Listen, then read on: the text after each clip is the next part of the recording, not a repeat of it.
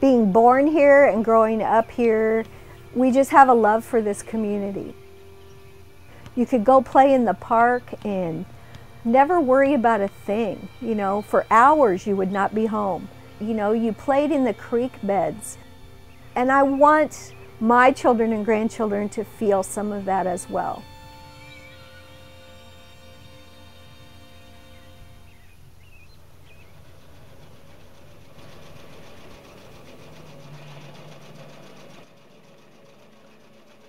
My name is Marie Glenn. I am the owner of Heavenly Treasures Quilt Shop in Pawnee City. About 15 years ago, we built a house and retired in Pawnee City. We came back to our community to help build it back up. The hardware store was going to be sold and um, it wasn't getting a buyer, so they had talked about closing it down if the hardware store were to close, we felt like people would go out of town for their hardware needs. They would buy anything else they needed while they were out of town. And so that would cause a demise of other businesses in town as well. I don't know what we do with this without the True Value.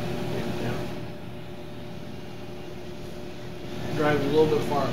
Yes. So we knew nothing about hardware but we bought that store so we could help revive our town.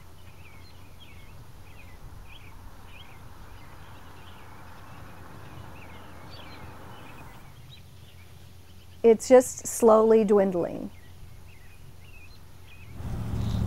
There's a Dollar General store that's being built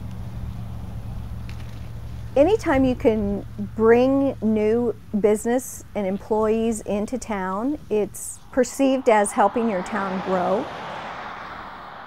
That kind of a store has a wide variety of inventory. So it, it is a concern about how much it will impact our local businesses that have been around for years and years. They do have some hardware items. They do have grocery items. They have vitamins and things like that that our drugstore carries. And it's, it's kind of scary. But we're survivors, so we'll just have to adjust to having this story in our community. You know, in the real world, competition sharpens you. So you have to just take that and let it sharpen you rather than give up.